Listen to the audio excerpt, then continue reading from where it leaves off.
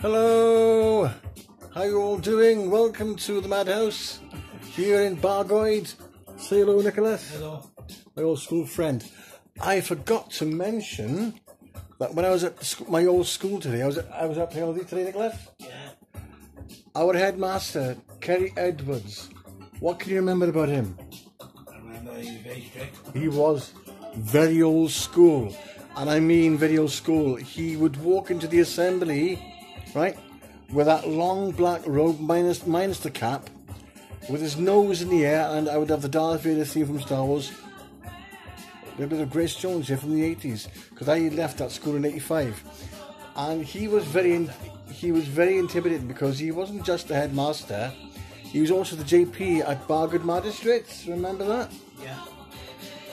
Oh, he was terrible. When he'd point your finger, you, you knew your day's a number, right? And he had me once in the office of swearing outside school hours. That's how bad he was, right?